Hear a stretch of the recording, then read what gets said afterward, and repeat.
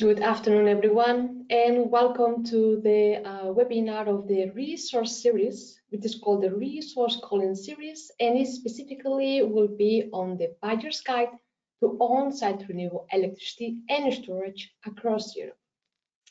And for this webinar, uh, we will have the pleasure uh, to listen to three great speakers.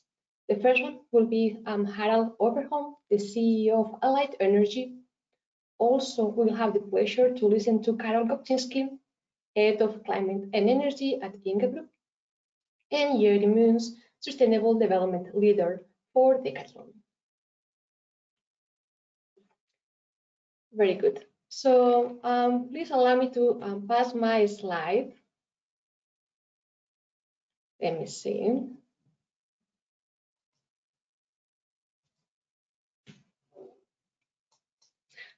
Um, let me check. Okay, perfect. So first, I would like to introduce you to the typical um, corporate sourcing journey of the different options available. So one of the options that we for corporates to explore um, actually contracted uh, green tariffs and also maybe purchase uh, renewable energy certificates so guarantees of origins. And there are companies that they prefer more ambitious strategies meaning um, forward purchase agreements and also maximizing on-site generation in their facilities.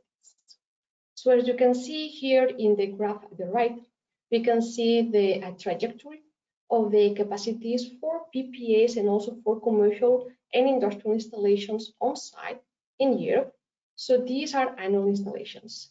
And as you can see, uh, for PPAs in Europe that started around 2016, and now in 2020, we already see capacity deployments of about 4 gigawatts. And for uh, the on-site generation, uh, for the next slide, please. For on-site generation, we can see that um, actually for uh, 2020, we can see the capacity that has been doubled of about uh, 8 gigawatts. And in total, the cumulative capacity was about 60 gigawatts. And we are seeing forecasts for 2030 of about 380 gigawatts of renewable capacity for on-site only. So this slide shows the um, highest visibility of the renewable commitments possible for different strategies. And as you can see, the uh, one at the top is specifically on maximizing on-site generation of renewables on their facilities and how that can be done. So actually, we can think about uh, different methods, different approaches that can be, for instance, self-owned on-site and also through leasing models, on-site PPAs, or even uh, nearby the facilities leveraging private wires PPAs.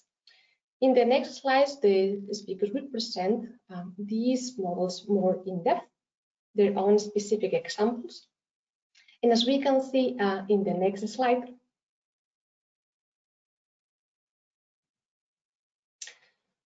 we have produced a, a report, a resource report, specifically on on-site renewable generation. And the speakers of today have contributed to this report. And now I'll present you the added value from on-site renewable generation.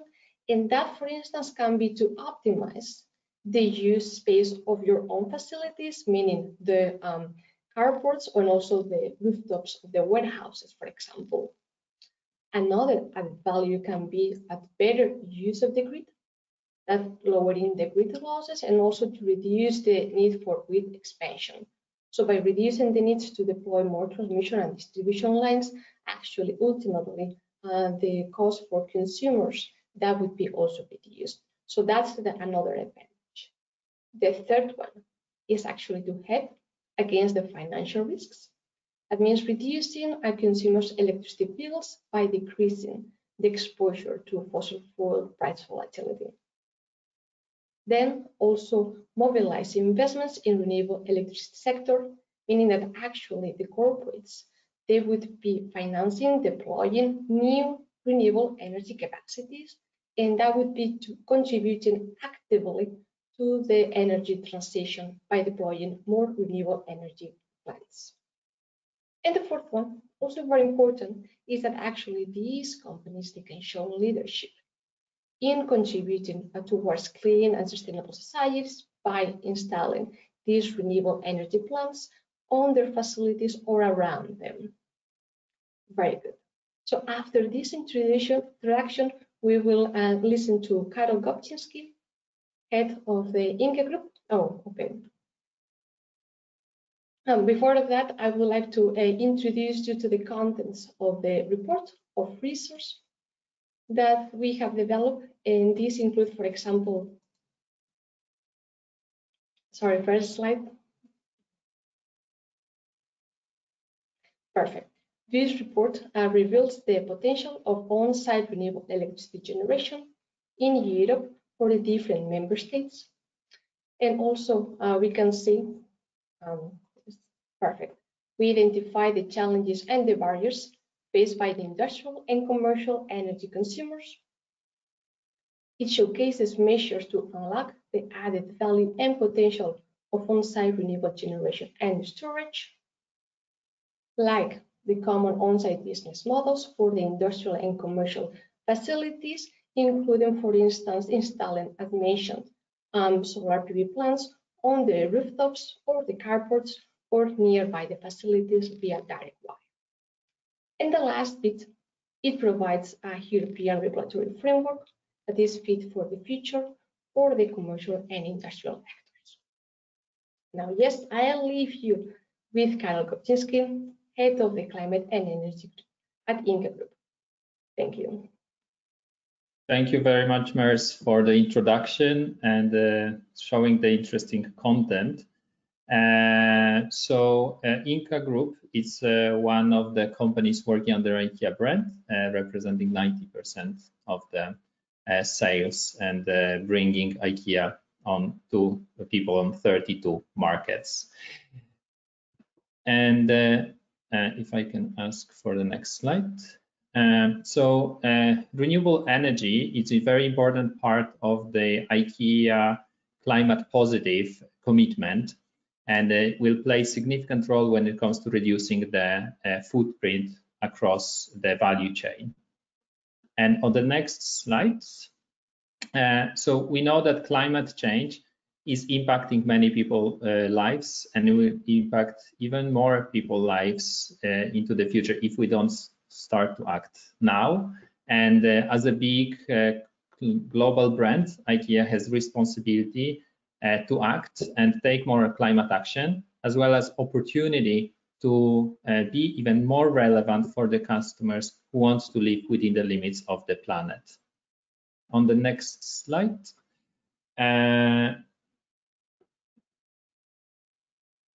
Yep, uh, I, and IKEA vision is to create better everyday life for the many people. And we know that the climate change is the biggest threat when it comes to impacting the people everyday lives across the world. Next one, please.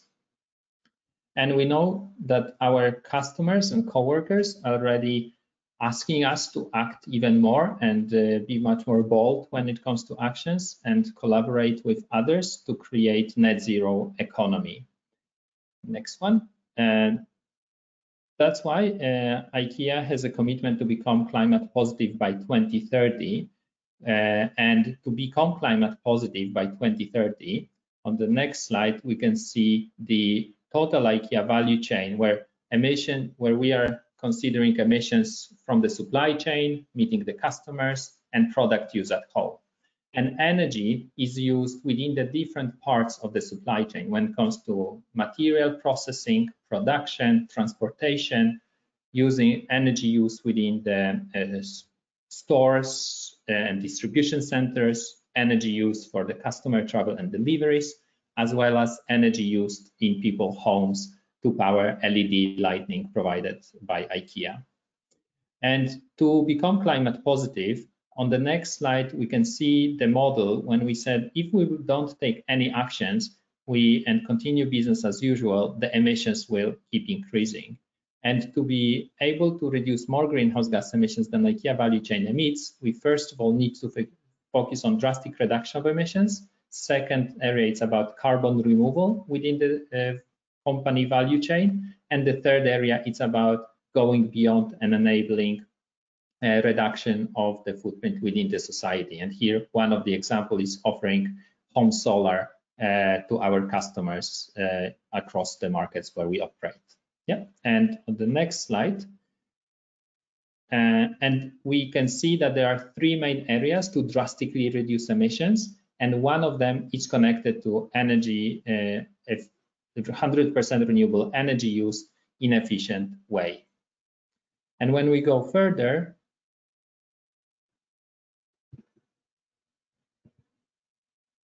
we you can see that Ingka Group consists of three parts, IKEA Retail, Ingka Centers, and Ingka Investments. And today we have 30, uh, 388 stores in 32 markets and 40 uh, meeting places, which are located usually next to the uh, IKEA stores, plus Ingka Investments. And on the next slide, you can uh, you can see the total footprint of uh, Ingka Group considering the, all the products which are being offered to our customers plus our operations. Yeah, next one. Uh, Ingka Investments uh, invested in renewable energy to be able to generate more renewable energy that we consume by 2020. And uh, uh, can you click this uh, four times? Uh, so uh, we already invested 2.5 billion euro in uh, off-site and on-site renewable energy generation uh, to be able to generate more renewable energy that we consume. And we own 547 wind turbines across many markets in the uh, European Union and Canada and the US. And currently we are focusing on China and Russia, where we don't own the big uh, offsite investments to be able to consume renewable electricity. We own two solar farms uh, and uh, we have 9, 935,000 solar modules covering the IKEA buildings and some of the parking lots. Yep. On the next one, uh, so when it comes to our emissions connected to energy use in operations, we said by 2030 we need to reduce emissions by 80%. And to do it, we need to focus on the renewable electricity consumption. And on the next slide, you can see that our commitment is to secure 100% renewable electricity consumption by 2025. Uh, today, we are uh, consuming already renewable electricity in majority of the markets. And the big focus now is mainly uh, Russia and, and China, and then Australia, yeah, India, and Japan. But these two markets, Russia and China, are the where we have the largest consumption among these markets, and that's where our focus is today. Next one. And it's not only about electricity, it's about heating and cooling, and that's why we are working towards uh, securing 100% renewable heating and cooling in all the buildings and uh, uh, mainly uh, electrifying and using heat pumps, ground source heat pumps, and air source heat pumps. And the third element is about energy efficiency. And uh, this is what we can see on the next slide. We are focusing on improving energy efficiency across operations because, of course, the cleanest and cheapest energies we never use. And that's why uh, we support the EU new Fit for 55% uh, package, where existing climate and energy uh, regulations are being reviewed to increase the ambition when it comes to renewable energy and energy efficiency in the buildings uh, to be in line with uh, the 2030 target. Mm -hmm. And when we go to the next one, when it comes to renewable electricity consumption, we have three primary ways. Uh, first choice is to secure on-site generation of renewable electricity, then investing off-site and uh, generating off-site renewable electricity and connect to our consumption. And the third one is the purchase of renewable electricity attributes from other uh, generators of renewable electricity on the market.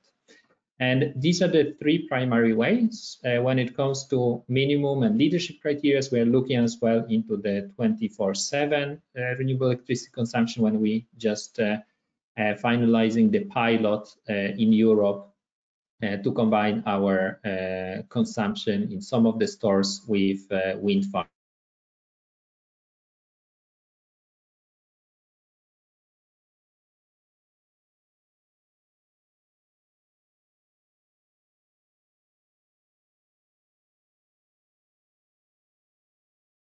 Farms in Finland. And can we go to the next slide?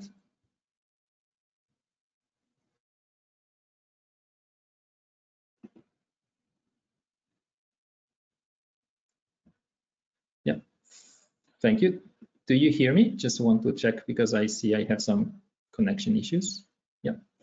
So today I would like to present you two uh, examples. Uh, one uh, is from the IKEA US, and when we go to the next slide, you can see the exactly how it works. Within the store, uh, we have the PV panels on the roofs and carports, uh, and we are able to generate more renewable electricity that is being consumed on site. And uh, in the real time, when, whenever we are not able to consume the generated renewable electricity, it's sold to the, uh, to the grid.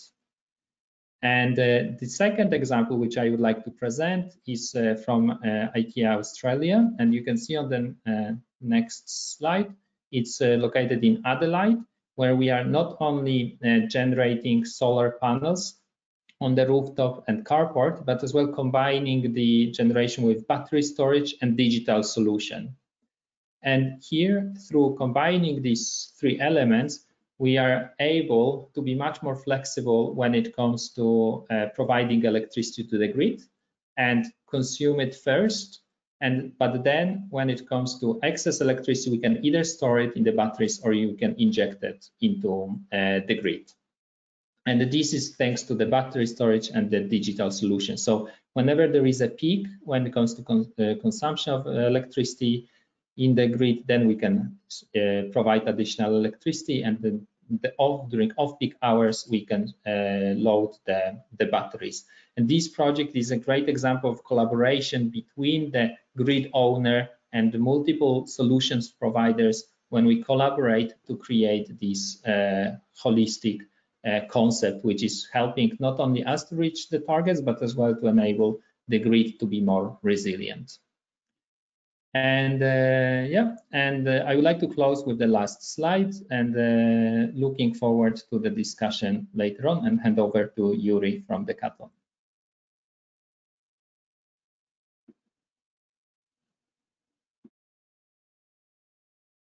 Thank you, Karol, for the insights of uh, Ingka Group. Um, I'm Joeri from Decathlon, um, and I want to present uh, you a little bit the strategy from the next slide uh, of Decathlon. The reason that we exist today is to be useful to the people and to their planet. That's our main ambition within Decathlon as a sporting brand. Uh, and uh, to present myself, I'm the Sustainable Development Leader for Belgium, um, where I'm leading the topic to become neutral in 2050 for Decathlon, but also my main responsibility is to uh, get the renewable energy uh, for 2026 done by the countries. Um, because within Decathlon, we are working on a decentralized uh, strategy because we want to source uh, the, the renewable energy as local as possible and want to give autonomy to every country to decide and to work on their proper strategy within the country potential. And uh, for us, we we like idea I think Ingka Group do um, are working on three main uh, ways. Is the the on-site solar uh, by uh, sending to the grid or auto consumption is our main priority, um, and we can add it to that the power purchase agreement for off-site and everything what is green electricity supply or unbundled uh, guarantees of origin, or also something that can be done by uh, the countries within their strategy to become 100% renewable. Uh, the main difficulties or barriers that we face today is that Decathlon is representing 60 markets with 1,700 stores and, and warehouses, and 60% of them are in rental so we need to uh, face with landlords that have the electricity contract. Um, in the 40% of property sites, we can easily go for our own um, strategy and work for the on-site solar or on-site wind options uh, where we can. But uh, the main way that we want to do is to maximize the, the roof and the parking space that we have within property sites and within rental sites. So we want to implement the landlords within our strategy. Um, the majority of our installations are third-party investments. So rather uh, different than Ingka Group is investing by himself. We are doing it by on-site PPA models or leasing models, depending on what the what we can do locally, what the country uh, barriers are, and where we can face a third-party investment. We want to we want to try and do and to do this. And a main uh, way to, to achieve our target is to involve landlords in the beginning of the process and to before we go to rent uh, a certain area we want to open the discussion about uh, renewable energy we want to open up the on-site potential and discuss with them if there is any option and if they are not interested that we as decathlon can become the owner of the the, the roof so that we or the parking lot where we can uh, at that moment do an on-site investment uh, for solar panels. And uh, I want to to have two uh, two sites that we that we have have done realized where we had a small store of 2,000 square meter on a retail site of six stores, where we convinced the landlord to to work together with a third-party investment um, where the landlord gets a roof rent um, for, for his roof, and we can have a competitive energy price within a PPA model um, where we can uh, have at that moment on-site solar. Uh, so that's a, good thing. And the second point that, that was interesting uh, by the landlord is that he challenged us and the third party uh, to have also battery storage and to maximize really the, the space of, of the of the roof that there was, the potential, maximize the potential to have a battery um, for the common areas and the, the alimentation of the common areas where we can he wants to go off grid um, with this installation and that's something uh, and a good example where we see that landlords sometimes are even more advanced than, than we are and are really thinking together with us to achieve uh, our, our renewable energy target and they want to go further than we go so that's uh, already a good sign um, for us it's still difficult with, within a lot of countries to to get that landlords convinced that there is also business case within them um, and and for them. Uh, but this uh, shows us that there is still potential and that we are on the good uh, good way to achieve it. And second, some something that we did was an interaction with with local customers where we had a, a carport system um, already uh, a, a, store where we had solar panels on the roof, and there was still potential for the carport uh, on the parking lot. Um, and we we looked into the citizens that uh, that are lived around, um, if they were interested at that moment within energy uh, or renewable energy coming from solar panels. Um, and we, we co-invested, the, the citizens co-invested within the installation we gave away our parking lot and we uh, became within the energy community one of the uh, we, we take 10% out of uh, out of the consumption there and all the rest is coming for the energy community so there are a lot of people that are benefiting from these installations that are living nearby um, and it's also uh, done by a solar as a service model where we in, implemented a supplier that was interesting to develop this case that wanted to work also with local customers um, and with the Decathlon customers. So for us, there was a win. Um, we have more uh, maximized our, our parking lot um, by the solar panels. So for us, there is an interest. We can have uh, a slightly uh, um, consumption out of it, and also we can have uh, together with the with the with the local customer have local need um, and connect the suppliers and the customers together to decentralize a little bit the energy and work and see if there is potential to, to work on a smaller scale um, for renewable energy uh, and optimizing for us also uh, all the land that we have.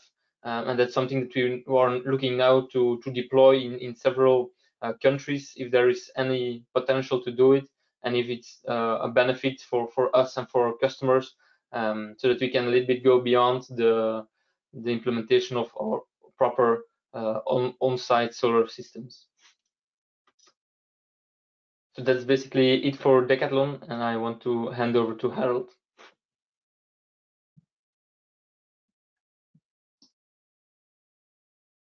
Thank you so much, Joeri, for that uh, for that account, and thanks also to uh, Karol, of course, and IKEA for for talking about that. I'm going to build on actually what Joeri has been talking about with the um, with the solar as a service model. Um, I represent Alight energy. Let me get my slides in order here. Uh, see if I can get the first one. There you go. Um, and Alight is a uh, we're we're the supplier. So in this webinar, we represent the supply side. We do commercial and industrial rooftops uh, across Europe, and we do it as power purchase agreements uh, or solar as a service. And this is really the core of who we are. We uh, set up the company uh, eight years ago. I'm I'm the CEO and founder, and we had a simple vision eight years ago of um, leading the market in Europe for subsidy-free solar. And and you know, there's only one way that solar can be subsidy-free. It's when someone else than the government pays for it. And so that's what a PPA is about. It's about helping power users to pay for solar in order to build more solar. And we were really inspired by the US market where this had happened at a large scale, and it's still happening in the US uh, at, at, an even larger scale. So, um, yeah, and we became kind of pioneers in this. We we did the first. I mean, I think we did among the first rooftop PPAs in uh, ever in Europe in 2015, and we did them in Sweden, which is a very dark country. So uh, you can imagine uh, that it was a little bit of a challenge, but those were pilots and, and the market has scaled very rapidly since. So at the time we were doing things like 50 kilowatts. Now we're doing maybe one and a half megawatt rooftops. Um, we're also done the, the largest solar park in Sweden two times actually, and both like as PPA power purchase agreements with, with large corporates. Um, and a good example of this was that we just uh, released a project yesterday with Kingspan. Uh, if, you haven't heard of Kingspan, it's one of the largest construction uh, materials companies in the world. It's an early RE100 member, um, a net zero company, already reached net zero energy actually, uh, highly sustainable. So they are opening a new factory in, in Sweden, and so we're building 1.3 megawatts of, of solar on that rooftop. We're selling the power back to Kingspan, so the fact that Kingspan will be paying for the power over the long term helps us to uh, to build the project. And of course, Kingspan will save money on the power, uh, and they will um, achieve their keep achieving their SDG and net zero goals. So that's how most power purchase agreements look like. Um,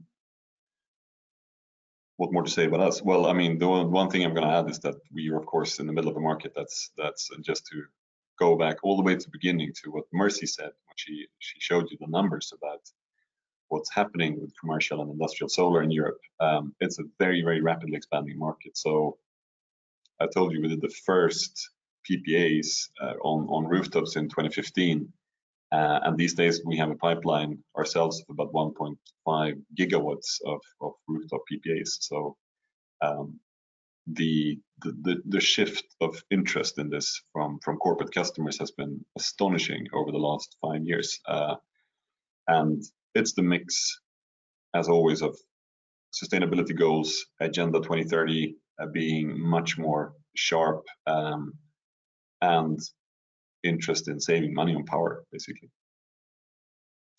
Um, good, I'm gonna move on to my next slide and just guide you through the, what I feel is the most important topic here, which is, so in the end, what is actually holding this market back? Um, I think we all agree that that solar is important. We all know the potential for rooftop solar in Europe. It's vast. It's enormous. I mean, we could power so much of our needs by just simply using rooftops and on-site installations in the future. Um, and of course, as, as Merce showed you, this market is growing fast, but but I think anyone who's been in it for a while would also agree that you know let's look at why it's not growing faster because there's so much left to be done. Being a supplier here, um, I spend my days talking to commercial and industrial customers who are thinking about rooftops. So we talk to hundreds of, of large power users every year um, about on-site installations. um, maybe even thousands these days actually. And so what I'm going to tell you on this slide is just what we pick up along the lines of what those people are telling us. And it's not, it doesn't really matter if if they end up becoming our customers or not, or if they pick um, a PPA business model or not. This is kind of what we hear from everyone who is out in the market thinking about this. So the first big, uh, the first big headline here is that the general sense of hassle with on-site. If you were to ask anyone, I think 99% of those who've been looking at doing some kind of on-site rooftop solar installation, what what held them back? What was difficult? They would just say, you look, there was just so much hassle going on. And I think that hassle is, you know, first of all, it's just all the decisions you have to make in, in every dimension from technical to environmental to financial, etc. It's all the stakeholders that, that you'll end up interacting with.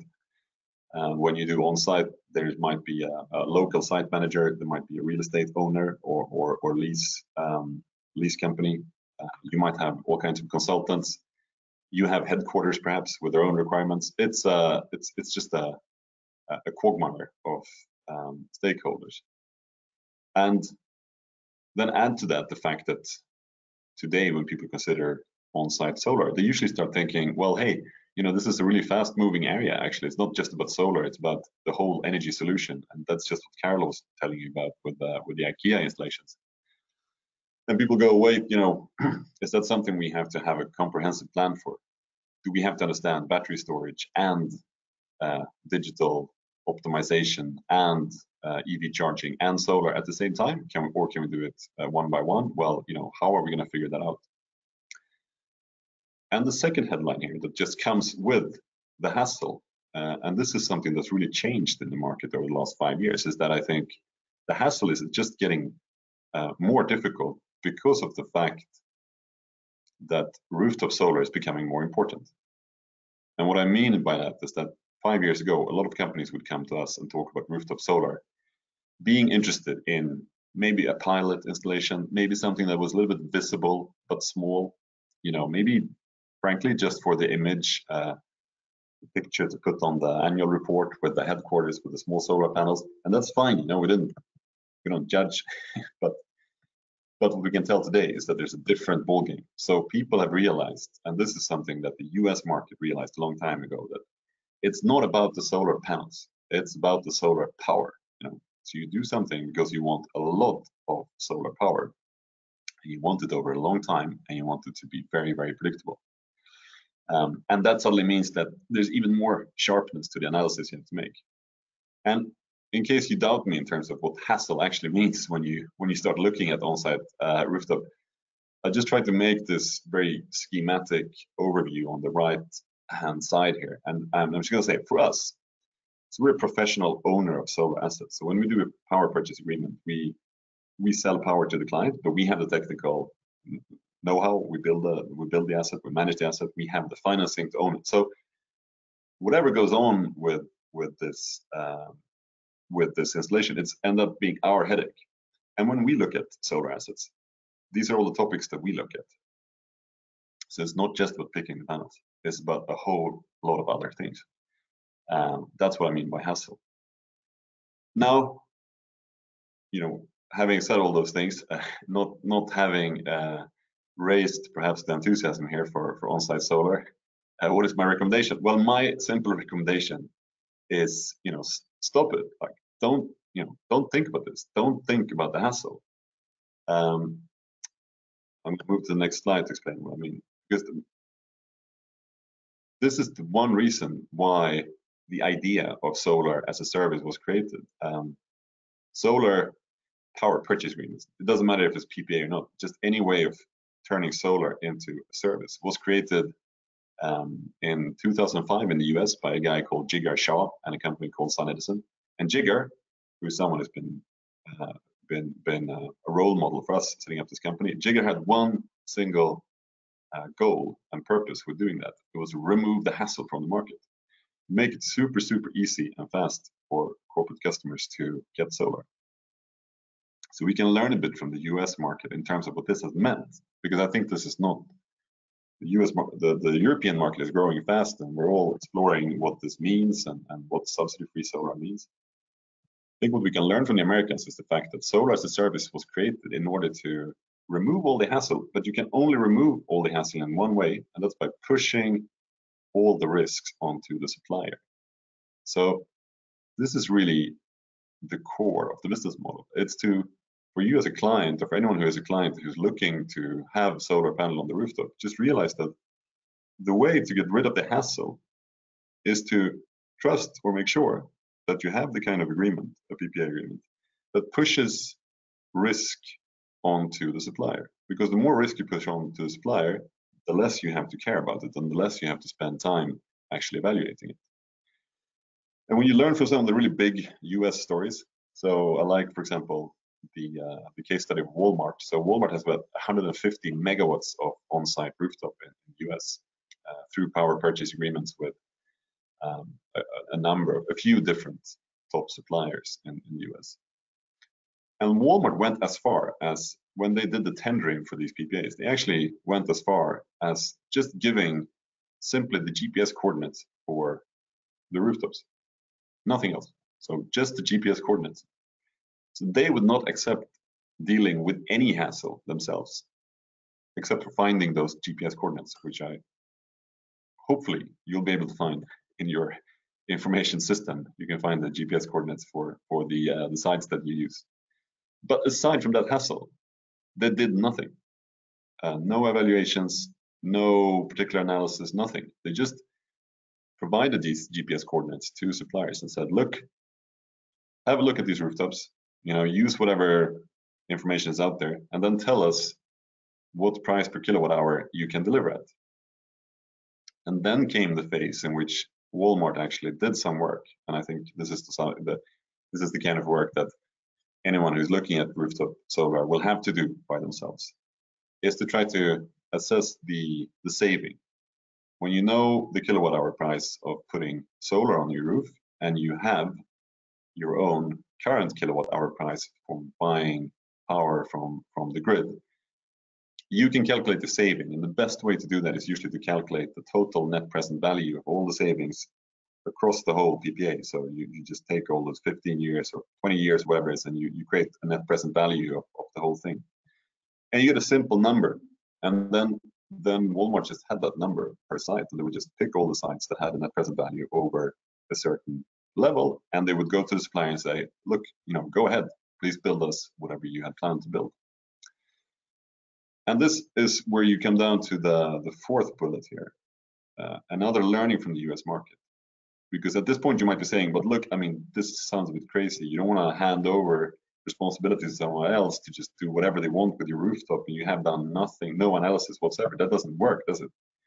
No. So what what is usually done in the US market is that you write a PPA, but the PPA has a first six month grace period during which suddenly the supplier has to do the work. They have to present you with exactly how this is going to be done, the analysis, etc. And of course, both you and the supplier have the right to step away from that contract if for some reason it doesn't work. And of course, the PPA should specify, you know, that, that there should be a clear analysis done of the rooftop, etc. But looking at it from the side of the supplier, this is okay because this is the the suppliers know what they're doing. They are supposed to, now that they know that you've signed the PPA, even though there's a grace period, you have signed it. They are willing to do this work and they will do the work for you and you will not have to hire a consultant to do it. You shouldn't basically have to deal with the hassle. So you've come all this way, all the way to the end of or the start of the project, um, and you have not dealt with hassle. Now, that is how we can put serious speed into this market. Because at that point, when you realize that, okay, this is how rooftop projects could actually work, then the final insight from the US market is that look, if this is how it works, then it's actually more efficient to do this for a large number of rooftops or for perhaps every rooftop that you have than only for one. Because the more rooftops you do it for, the more significant the amount of economical value will be for the suppliers. So you'll get more attention and more focus from the suppliers, and they'll be willing to take even more risk.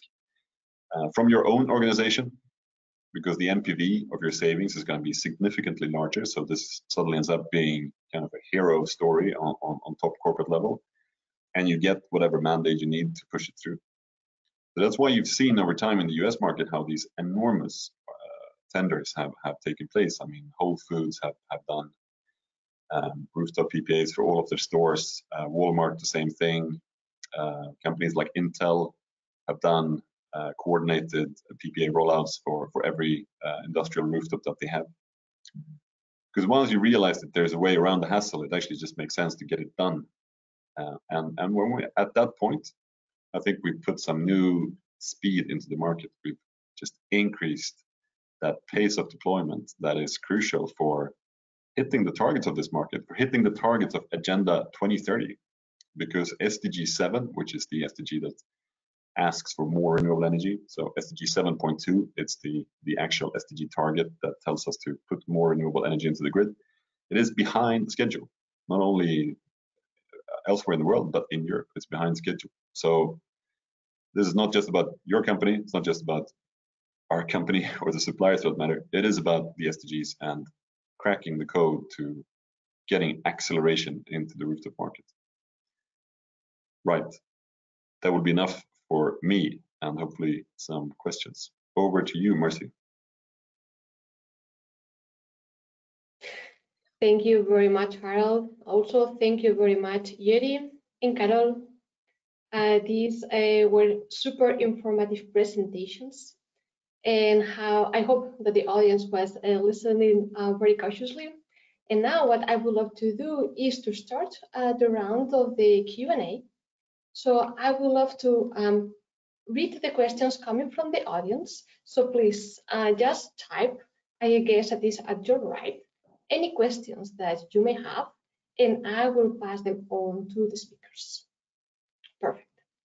So as the questions um, I uh, start arriving, I actually would love to start with uh, one of the questions that I had in mind when I was listening to the presentation of Joeri from Decathlon. So you mentioned, Joeri, that uh, your model, the, the model that uh, Decathlon follows, is more focused on uh, PPA models and also on leasings. And for that, you really need to deal, to have interactions, to have conversations with the landlords. So we know that there are some technical um, and regulatory hurdles. There are some barriers on the way, but actually there are some challenges also for the landlords and also for the rental sites. So could you please enlighten us a little bit more on that direction? Uh, of course, thanks for the question. Um, yes, for us, it's not only the so the technical and administrative barriers is uh, for everyone, and everyone is facing that. Um, but for us, the the journey starts within the internal um, conviction and to get real estate at the same line as, as uh, sustainable development goals.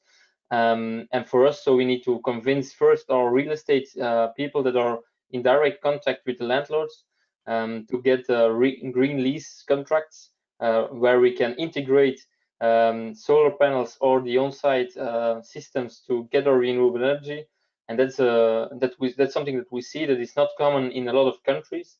Um, so that's an implementation that we need to have within all landlords that it's become common that green lease uh, contracts are are more common in, in the US and that on site and the potential that is that is for the moment on site uh, needs to be covered uh, so that we can uh, get our target uh, and achieve our target and also that the landlords see the benefit of it um, to use their, their roof that, uh, that is built for it and cover it by by solar installations. I see. Very good. Very clear. And picking up how actually can we can combine uh, the deployment of solar with the storage. Uh, we have one question for Harald. So how do you integrate storage in your solar as a service offer? Yeah, that's a very good question. it's it's actually it's of course it's super uh, complex to some extent because over time I think storage is going to generate a lot of values for corporate customers, but it's going to be significantly more dynamic values than solar. I mean, solar is very straightforward. You deliver power and you pay for the power.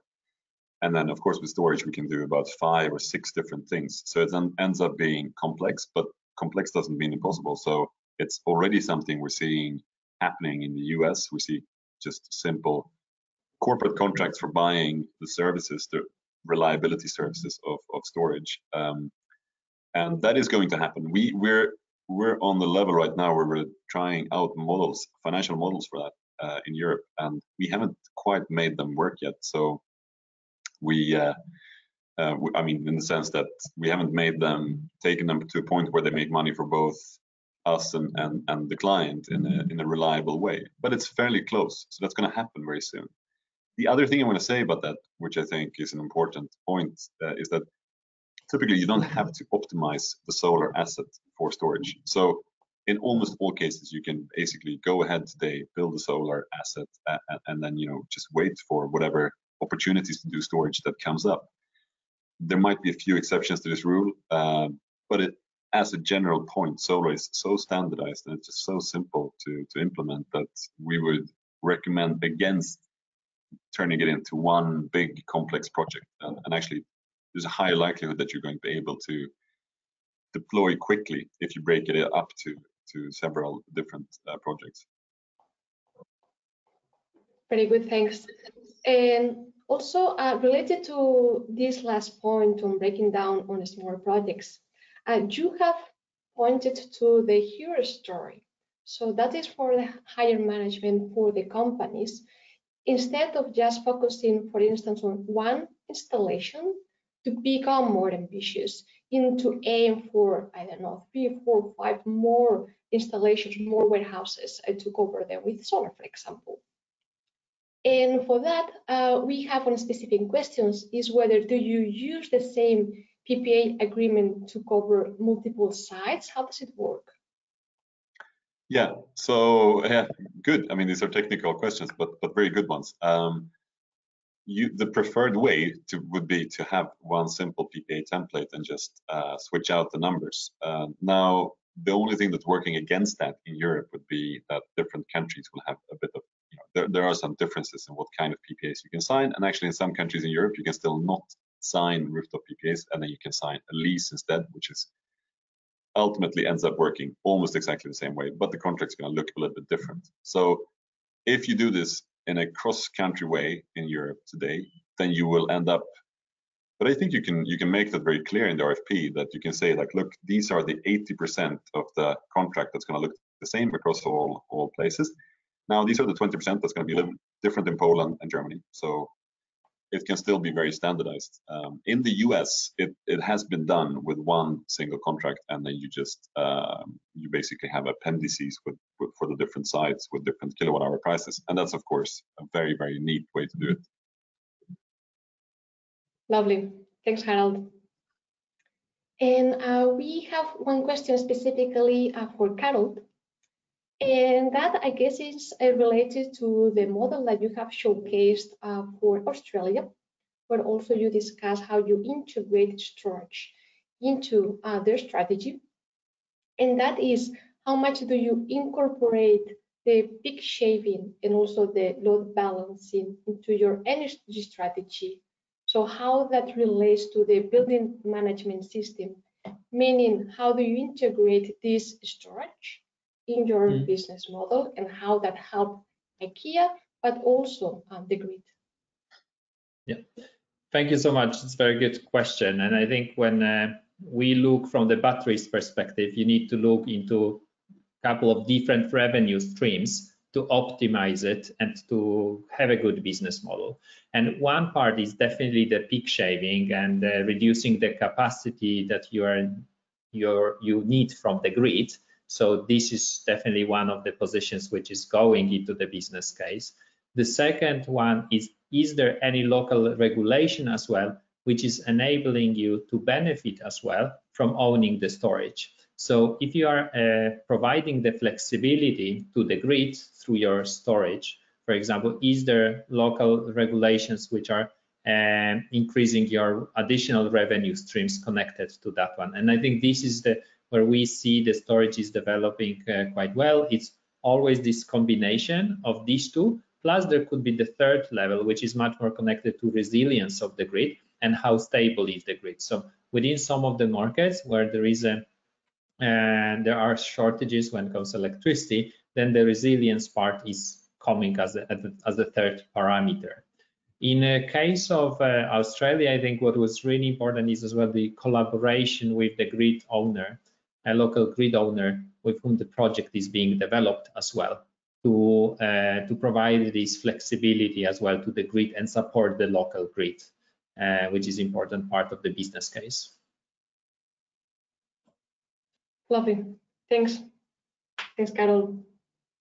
And now I would love to bring up uh, one of the models that actually is uh, rather new and extremely important because it's about bringing the society, the communities into the corporate strategies. And this model has been presented by Joeri, by Decathlon, and is uh, the concept of the energy community. So Joeri, you mentioned that uh, you are receiving like co-investments uh, from the citizens, and this is the model that actually has been welcomed by the uh, European Commission to bring the citizens into the energy transition. Could you please elaborate a little bit further on this specific model? Uh, yeah, of course. Um, so what we do, uh, like I explained, we always work with a third-party investment and we asked to them um, to not uh, invest by by banks, but uh, rather go go for a, a co-investment by citizens, and specifically um, if there is an, an, option to do it uh, with with Decathlon customers.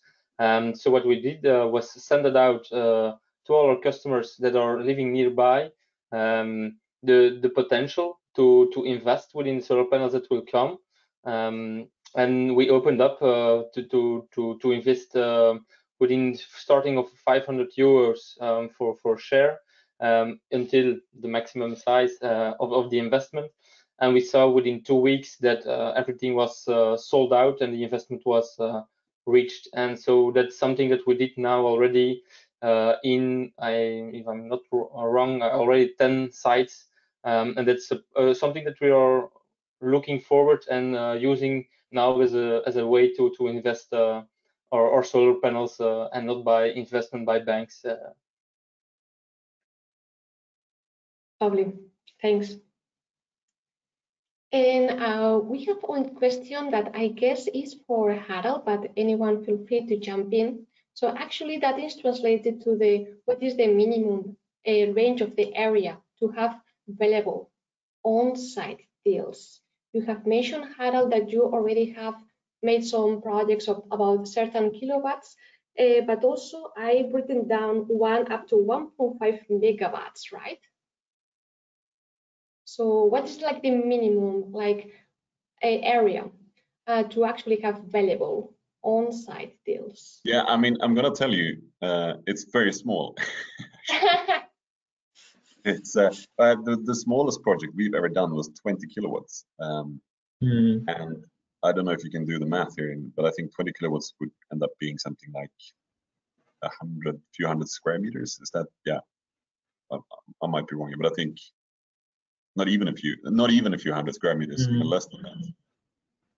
Maybe someone is faster than me here in doing the doing the math. It's very small, um, so that works. I mean, the question is just if you find a supplier who's willing to go through the process of working with you in order to do that. It's it's arguably it's easier um, if you're doing a big rollout and then one of the rooftops is very small. Then I think that's fine. You know, people would want to throw that in, uh, and then for yourself, it might be a question if you are you actually going to save money on that one? Maybe not. So that you might have a negative net present value of your savings, but you know maybe that's okay because you think it's an important uh, symbolic action or something. Mm -hmm. So I feel a lot of times with clients, we end up having conversations where we look at two or three really big things and then we talk to them about throwing in something small on the side and that that might be really good because in the end that's how you um, build out the maximum capacity so to summarize there's no rules here you know you can let you we can get it all done but let's spend our time on the big stuff first uh, probably best I can just add uh, to this one that we see that today majority of the installation in Europe are very much optimized around self-consumption in real time. So you look on your profile on consumption within the building to minimize how much electricity you, you inject into the grid. Uh, and I think that's one of the opportunities that we still have with the with the space and what we see within among other companies as well to increase uh, the installations on site if there are the regulations which are enabling for a non-utility company to in easy way to uh, to sign the contract of selling the electricity to the grid and uh, or different flexibility mechanisms and i think that's uh, maybe where we see it's growing and uh, developing is uh, very much connected to this easy access to the grid. If it's uh, restricted, then we see majority of the installations are limited to the what you can consume in real time within your building. Lovely. Thank you, Harald, and also thank you, Karol. And now we have uh, five minutes left, and I would love to start closing this webinar. And before doing so, I also would like to remind the audience that the RE-Source and um, Harald, Joeri, and Karol, they have been working on a RE-Source report on on-site renewable energy generation and storage that you can find in our website, where you will see all these examples and more. And to link up, I would love to say that also in this report, we provide like an overview of what are the like the, the best or the uh, fit for the future regulatory environment for these models to thrive. And uh, before closing up, I would love to have like one line from each of the speakers to see. So at the beginning of the presentation, we have seen like a steady growth of on-site installations. But of course, this growth can be steeper. So what do you think, in your opinion, that is that needs to change in Europe or actually see this market grow like faster. Mm. Yeah, I can start. I think the first part is about unification of permitting procedures. I think the permitting procedures can be so different even between the different regions and uh, within the country, which makes the process very long. And I think especially for the uh, smaller size companies, it, it is uh, very difficult sometimes to go through the uh, through the process. The, the second one is, uh, again, this uh, part of the instruments uh, which are encouraging the support to the grid. I think this is whenever we will see these instruments uh, more widely adopted, I think we'll see my, much higher, much more projects uh, which are increasing on-site generation as well as battery storage.